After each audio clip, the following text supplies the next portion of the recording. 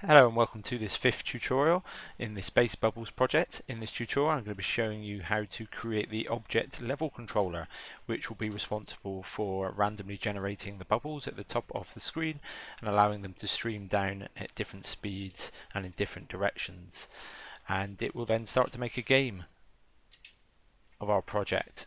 Okay, so let's get started. So the first thing we need to do is move over to the right hand side to the objects again and right click and select create object. We are going to call this object obj underscore level controller and press enter. So like previously this uh, object is not going to have a sprite, it's not going to be visible, it's going to be in the room but just invisible and controlling how the bubbles generate for us.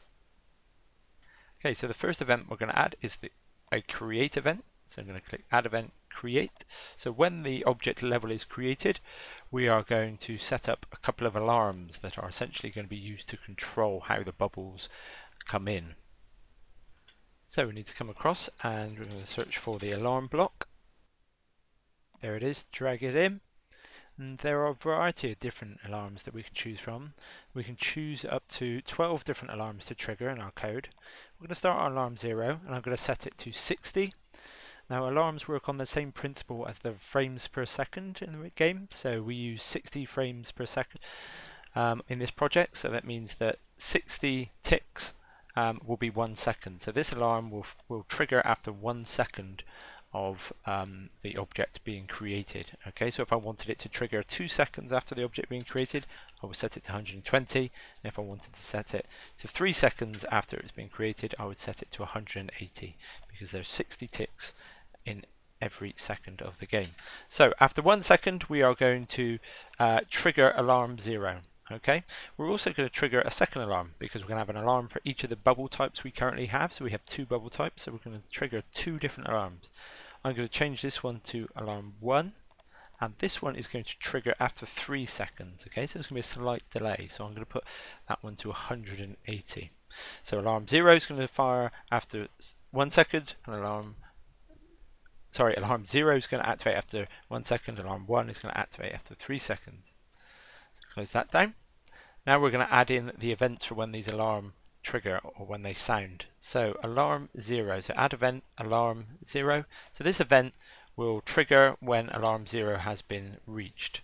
Okay, so after one second this alarm event will fire and what we're going to do is drag in a create instance box because we're going to create a bubble. So drag that in click on the drop down and select obj bubble 1.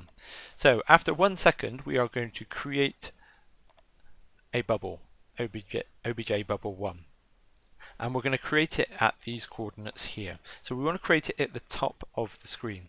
So let's remind ourselves again of the coordinates system that we're going to use in GameMaker. So remember we have a width of 800 pixels and a room height of 960.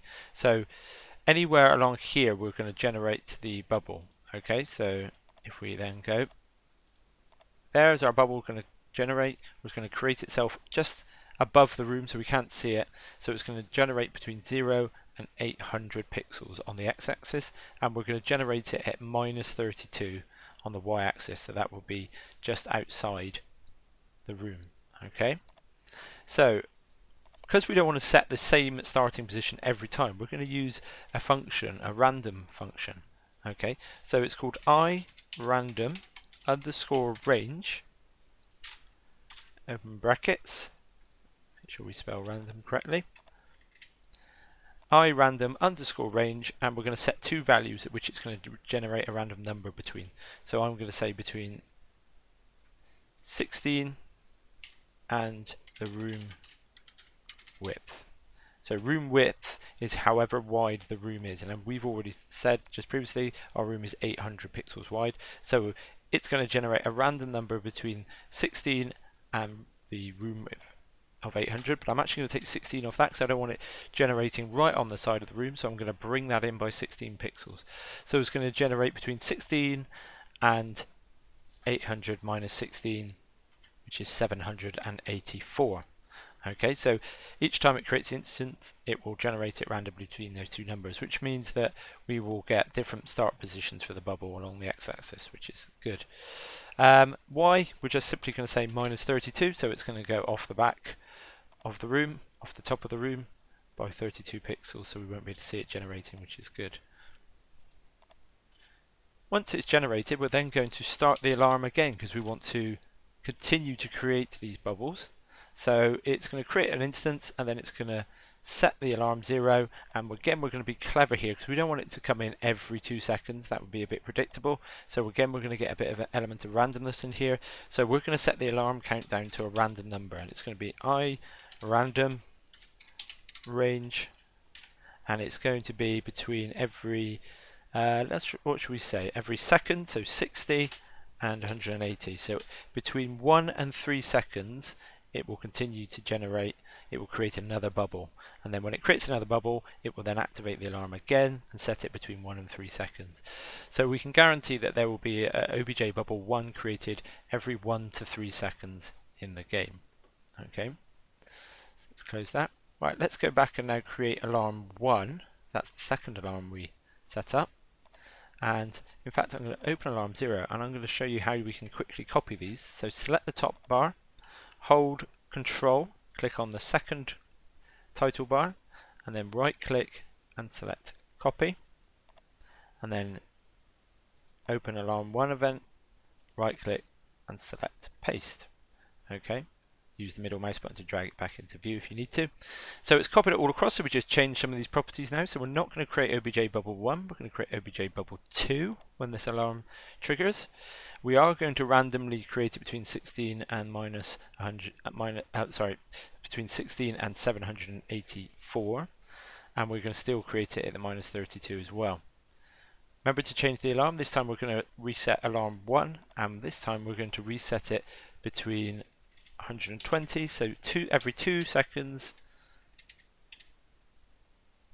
to every six. So between two and six seconds we will spawn in bubble two. Okay so again we've got them spawning in at different times.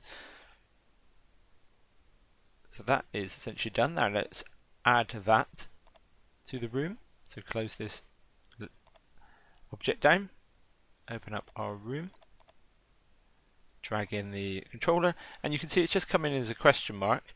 We usually put controllers in the top left of the room. Doesn't have a sprite so it just comes in as a question mark which means it will be invisible but it is in the room and working. So let's delete out these bubble objects. So just click on them and select press the delete key which is above the arrows on your keyboard.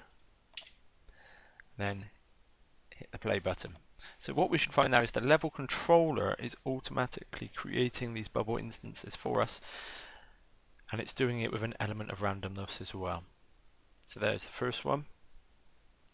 There we go. So we should see more of the white bubbles than we do of the yellow, but we should see that the yellow continue to be faster bubbles. Okay. If you're not happy with how quickly they're creating the bubbles, you want them to slow down or speed them up, you can just alter the numbers. Okay, so if we came back into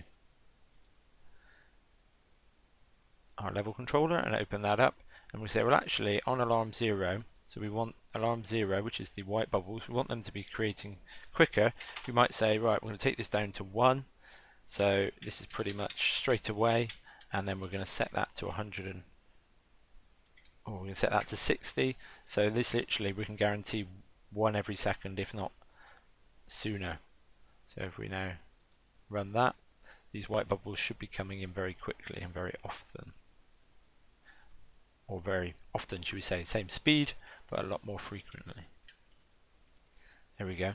So you can set the values to whatever you want. Remember you are going to be layering up lots of different bubble types into the game. So you do need to remember that not all of the white bubbles are going to be providing the challenge. You're going to have maybe five, six, seven, eight different types of bubbles that the player will have to contend with. So you may want to just reduce that back down to 60 and 180. Okay. Now currently at the minute, when the player the player collides with the bubbles, nothing happens. So, and also when the bubbles collide with the gamma ray, nothing happens. So let's quickly rectify that. So we're going to come up to the OBJ player, and we are going to add a new event. It's going to be a collision event, and it's going to be a collision with OBJ bubble, not one and two, OBJ bubble, because bubble was the parent event. So this means that when it collides with any of the bubbles, it will run these actions. Okay, so this is another good thing about parent and child relationships. We can just say, well, if we interact with the parent object, we're going to be interacting with the child objects as well. Okay, so when the player collides with the bubble, we're going to bring in a destroy block. So I've just started to search for the word destroy and then bring it in. And then I'm going to bring it in again. So what that's going to do is the first one is going to destroy, destroy the player object and then destroy instance. We're going to click on the on the second one and click on the down arrow and we want to destroy the other object in the collision. So sorry, that was a bit quick. Let's show you again. So we want to select other. Okay, so we've got two destroy instance instructions. One that's going to destroy the player. So we click on that, it says self. So it will destroy us as the player. But it will also destroy the other object in the collision because obviously you need two objects to be a collision. So it's going to destroy ourselves and whatever that other object is. In this case, it would be obj bubble. Okay. So we'll close that down. And then we're going to open up OBJ bubble and we're going to add a new event which will then be inherited by the children objects. And this is going to be collision with object gamma ray.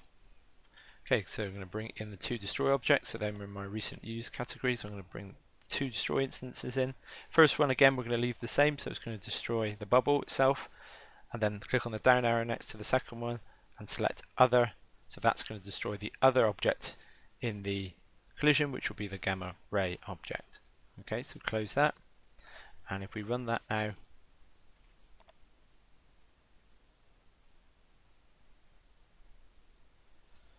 we should now have the gamma ray that's it destroying the bubbles. And there you go. So when it hits the player it destroys the player object as well